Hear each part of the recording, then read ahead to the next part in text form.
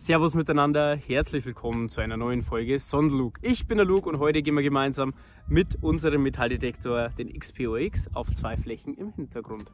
Einmal auf eine Wiese und einmal auf einen Acker. Äh, ich bin mega gespannt, was wir finden werden. Endlich bin ich auch wieder gesundheitlich fit. Wie ihr seht, die Sonne strahlt mich von der Seite aus an. Besser kann es heute eigentlich gar nicht laufen. Ein bisschen Wind ist mit dem Spiel und ein paar Wolken sind am Himmel. Aber vielleicht haben wir Glück und das Wetter bleibt einfach so beständig, wie es gerade ist. Wenn euch, wenn euch dieses Video gefällt oder wenn ihr mich allgemein supporten möchtet, gerne einen Daumen nach oben da lassen. Gerne auch einen Kommentar schreiben und ansonsten sehen wir uns beim ersten. Nächster Wert ist ein 93er Signal. Könnte jetzt wieder Alufolie sein, theoretisch. Hier.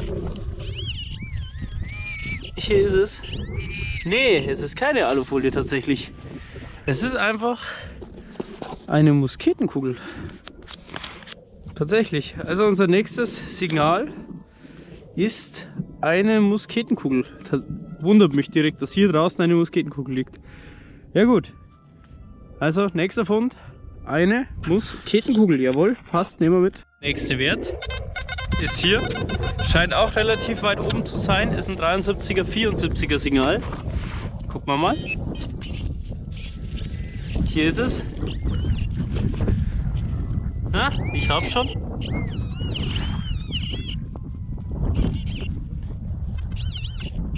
Hier ist es drin.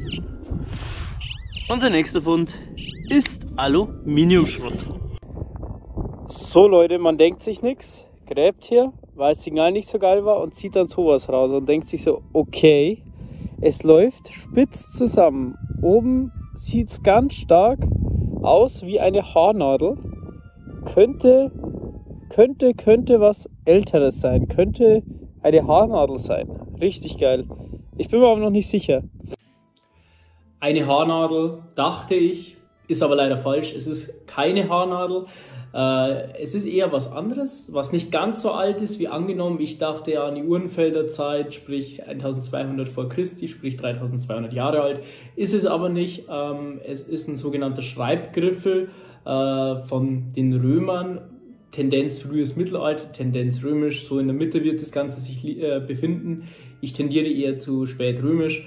Äh, Schreibgriffel ähm, war, wie der Name schon sagt, ein damaliges Schreibwerkzeug, wurde unter anderem verwendet, um in Wachstafeln äh, Buchstaben reinzuritzen. Ich zeige euch nochmal schnell das Objekt. So Leute, ich zeige euch nochmal das Objekt. Hier seht ihr, wie groß das ist, also beziehungsweise wie klein das es eigentlich ist. Ähm, sogenannte Schreibgriffel, wie gesagt, äh, römischer Natur, wurde verwendet eben auch um Buchstaben etc. in Wachstafeln zu ritzen, äh, weil ich immer die Frage bekomme, hey Luke, ähm, ich habe jetzt mit dem Hobby angefangen oder ich habe bereits einen alten Fund gemacht, was muss ich denn machen? Ich selbst mache das immer wie folgt. Ich mache einen alten Fund, das allererste, was ich mache, am Feld selbst, wo ich den Fund mache, ich nehme die Koordinaten. Die sind später mal wichtig für die Fundmeldung. In der Fundmeldung, äh, das ist quasi ein Dokument, mit dem man quasi ähm, den Archäologen Bescheid gibt, hey, ich habe da hier einen Fund gemacht, einen älteren, äh, hier sind genau die Koordinaten, vielleicht ist ja da mehr. Genau. Äh, ich mache das zumindest immer so, ich pflege meine Beziehung zu den Archäologen eigentlich schon sehr und regelmäßig und eigentlich alles Alte, was ich finde, melde ich, weil dann bin ich immer auf der sicheren Seite. Wie gesagt, das ist nur wichtig, äh, ihr müsst zu den jeweiligen Bodendenkmälern, wenn ihr zum Suchen geht, auch einen gewissen Abstand einhalten, weil auf den Bodendenkmälern zu gehen ist verboten und äh, mit so einem gewissen Abstand zu den Bodendenkmälern ist es wiederum erlaubt. Genau. Ansonsten äh, gibt es ein paar Feinheiten, die wo man einhalten muss, welche auch relevant sind für die Leute, die außerhalb von Bayern sind. Man braucht eine Nachforschungsgenehmigung und so weiter. Aber das würde zu sehr in die Tiefe gehen, das Ganze. Äh, wenn ihr möchtet, kann ich da explizit mal ein Video drüber machen, was man darf, wo man was darf, wo man was nicht darf. Natürlich alle Orte kann ich nicht nennen, aber die meisten Sachen, welche ich selbst weiß, kann ich äh, in ein Video mit reinpacken, wenn ihr möchtet. Genau, auf jeden Fall hier nochmal der Fund. Ähm, und wir machen weiter. Wir gehen jetzt so Leute, wir werden jetzt von dieser Ackerfläche auf eben eine Wiese wechseln, weil leider am Acker nicht mehr viel gekommen ist. Äh, seid gespannt, was wir finden werden. Ein Highlight-Fund ist auf jeden Fall noch mit dabei. Und ansonsten an dieser Stelle, wer möchte, kann mich gerne unterstützen mit einem Daumen nach oben oder auch gerne Kommentar schreiben oder abonnieren und die Glocke aktivieren. Wie ihr merkt, ich bin noch heiser, ich bin noch ein bisschen krank. Von den letzten Tagen, die waren ziemlich heftig, äh, hatte ja leider Corona und ähm, genau, aber mittlerweile auf dem Weg der Besserung und jetzt viel Spaß auf der Wiese. So Leute, der nächste Wert ist hier. Kommt mit 91 rein. Gucken wir mal. So. Ich bin guter Dinge, weil letztens hatten wir, also beziehungsweise gestern, ihr habt es ja selbst gesehen in dieser Folge, hatten wir ja ähm, doch kein bronzezeitliches Relikt, sondern ein römisches auf der Fläche gefunden. Total unscheinbar eigentlich, weil hier weit und breit nichts römisches ist. Oder zumindest äh, bekanntes ist. Aber mal gucken. Vielleicht ist es ja auch nur ein Fund, der irgendwann mal verloren gegangen ist und da hier nichts ist. Aber schauen wir uns jetzt mal an. So. Ja, nächster Fund, wir haben ihn draußen. Es ist eine Musketenkugel, erstaunlicherweise. Interessant. Nehmen wir mit und gucken mal, was noch kommt. So Leute, nächster Wert, nächster guter Wert. 87, schöner 87er Wert. Ich habe noch ein bisschen Erde vom letzten Loch mitgenommen. Übrigens, wichtig ist auch immer, wer ein Loch aufmacht, macht das Loch wieder zu. Sprich, wir hinterlassen keine Löcher. Weil wenn wir das alle machen würden, Löcher aufmachen und Löcher nicht mehr zumachen, dann würden wir schneller, als wir schauen können, keine einzige Fläche mehr bekommen. Aber es ist ja auch verständlich. So, hier jetzt gerade irgendwo, hier piepst Wir gucken mal. Aber interessant, warum hier eine Musketenkugel liegt. Hm, vor allem hier war halt auch nichts dergleichen. Also die Flächen hier sind irgendwie schon erstaunlich, weil hier, hier über diese Flächen gibt es überhaupt nichts. Hier ist kein Bodendenkmal, nada in der Nähe. Und äh, ja, jetzt eine Musketenkugel. Gestern dieses römische Objekt. Mal gucken, was uns denn noch auf dieser Fläche so entgegenkommt. Ja, ja. Jetzt erstmal eine Tube. Die können wir gleich entsorgen. Passt. Nächster Fund mit dem Metalldetektor ist eine Münze. Sieht golden aus, schaut aus wie pures Gold, ist aber leider, leider kein pures Gold. Es sind 10 Reichspfennige, also kein Gold. Aber immerhin eine schöne Münze von 1928. Hat was. Jawohl.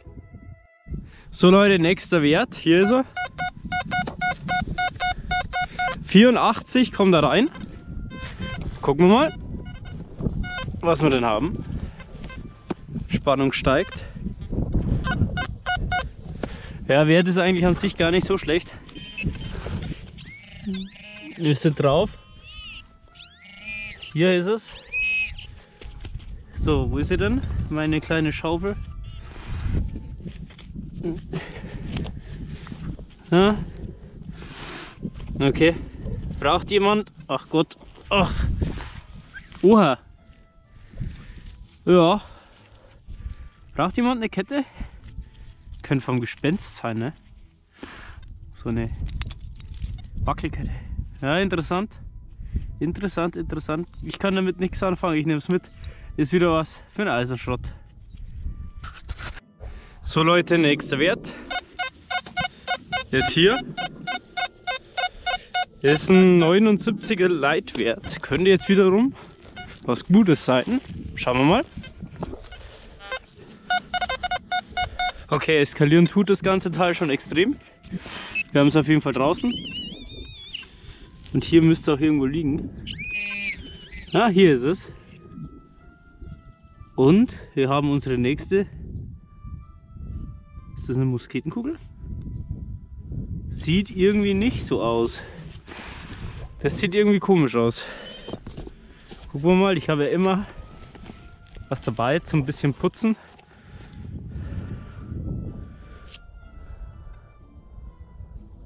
Ui. Nee, das ist keine, keine Musketenkugel, ich zeig's euch. Und hier ist er auch schon, das ist unser nächster Fund. Es müsste ein Nadelkopf sein. Sehr, sehr, ist das, bleibst du da? Sehr, sehr cool. Ich habe das Ganze jetzt nicht mit der Zahnbürste gereinigt, weil Zahnbürste ist für alte Sachen immer ganz, ganz kontraproduktiv. Ähm, ich habe das jetzt ganz sensibel nur ein bisschen äh, Wasser drüber geschüttet. Und ähm, ja, aber cooler Fund. Auf jeden Fall. Sehr, sehr cooler Fund. Auch Verzierungen sind drauf, leider. Obwohl ein bisschen festhalten kann man es. Da wenn man mal hinguckt, sieht ihr es. So ein bisschen sieht man es noch. Die Verzierungen. Cool, schöner Fund. Also wieder Koordinaten nehmen. Nächste Fundmeldung. Jawohl. Nächster Wert. Ein 88er Signal. Jawohl. Schauen wir mal.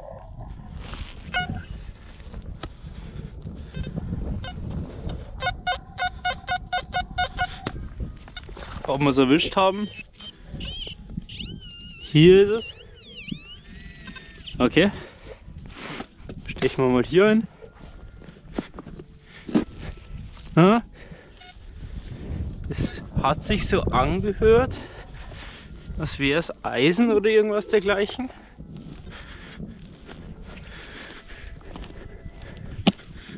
Ja, es müsste Eisen sein.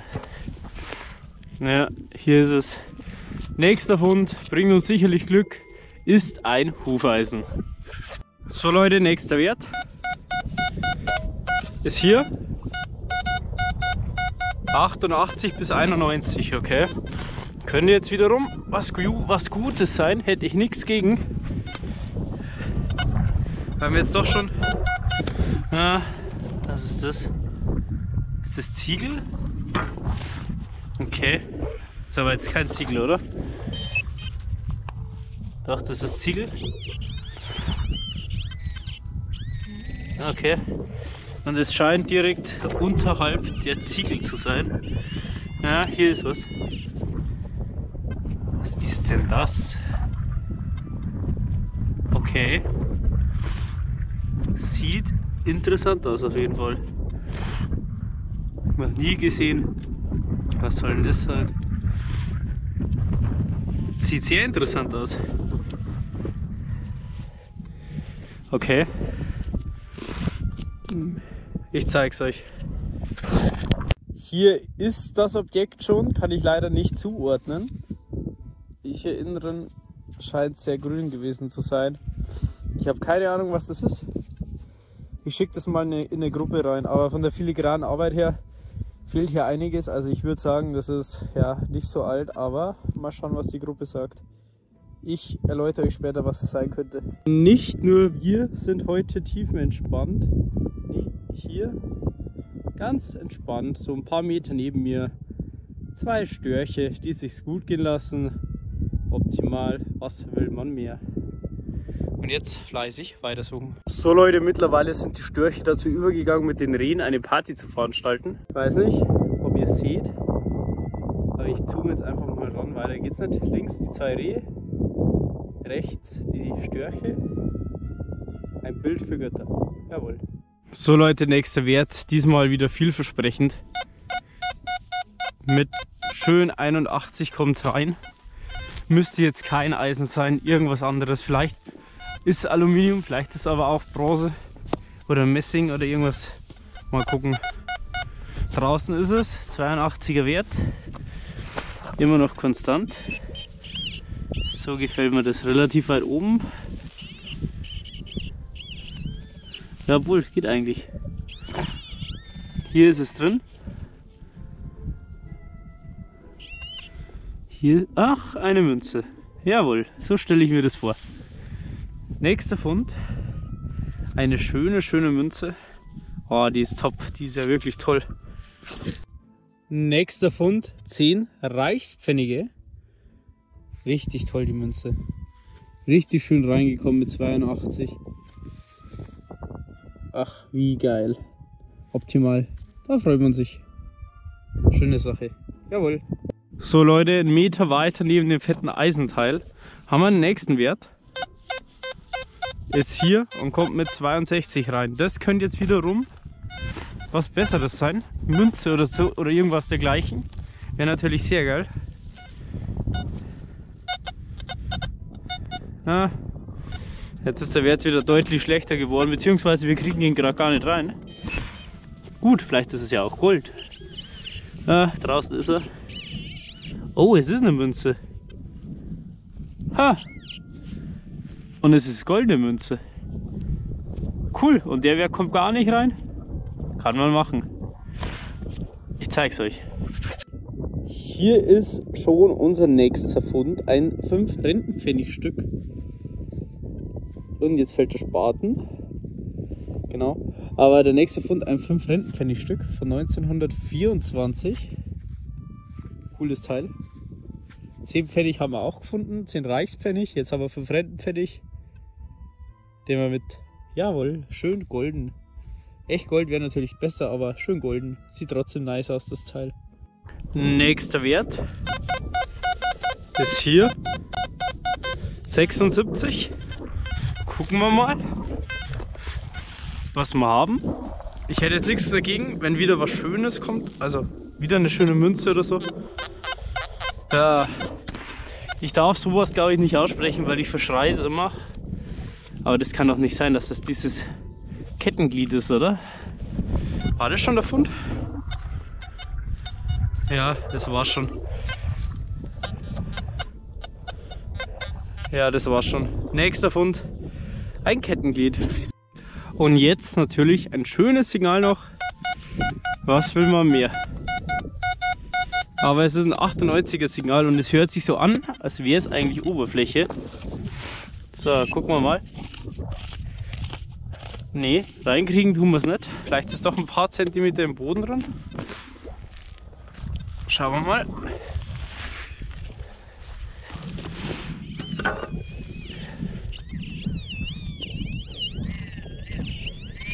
Hier ist es. In Pinpointer kommt es zumindest rein.